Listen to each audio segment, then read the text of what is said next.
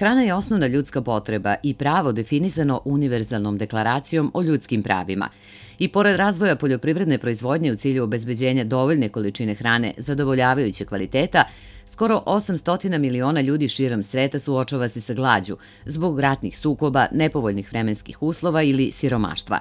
Društvene zajednice, institucije i ustanove se na razne načine bore da jedno od osnovnih ljudskih prava, pravo na hranu, bude zadovoljeno u što većem procentu, a jedan od načina je i promocija i savetovanje. To je zdravstveno promotivni rad našeg Zavoda za javno zdravlje, gde se u oktobru posvećujemo najviše predavanjima u vezi pravilne ishrane, gostovanjima, i uopšte priči o pravilnoj i značaju pravilne ishrane. Akcenat, odnosno uvek nam je neka najlepša grupacija najmlađi, ovaj, prečkolci, školarci. Ove godine smo kao i svake prošle organizovali konkurs e, za ovaj, e, likovne i literarne radove na tu temu i očekujemo veliki broj ovaj, naših najkreativnijih, pa i vaših Borana i ovom priliku im pozivamo da učestvuju u što većem broju i da se vidimo na završnoj manifestaciji u Zavodu kraj meseca.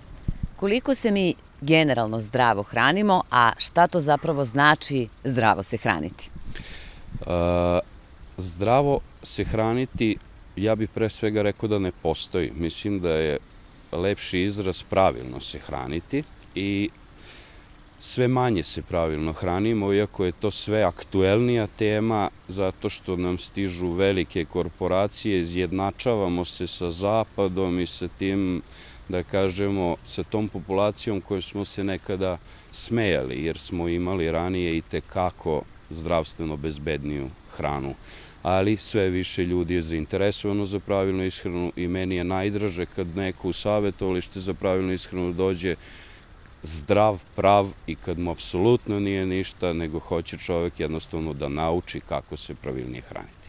E, koji je najbolji recept za pravilnu ishranu? Pravilan recept za pravilnu ishranu jeste baš izbalansirana ishrana. Šta to znači? To znači da u toku 24 sata moramo uneti bar po jednu namirnicu i svih pet grupa namirnica kroz pet obroka. I onda bi mogli reći da se pravilno hranimo. Nasuprot tome, nepravilna ishrana u vidu preskakanja obroka tokom dana ili unosa hrane velike energetske, a male nutritivne vrednosti u osnovi je nastanka brojnih hroničnih nezaraznih bolesti, poput prekomerne težine ili gojaznosti, povišenog krvnog pritiska ili šećerne bolesti – kaže Đorđević i naglašava da je na svetskom nivou oko 2,5 milijarde odraslih i 37 miliona dece mlađe od 5 godina gojazno, što je svakako alarm za promenu načina ishrane na globalnom nivou.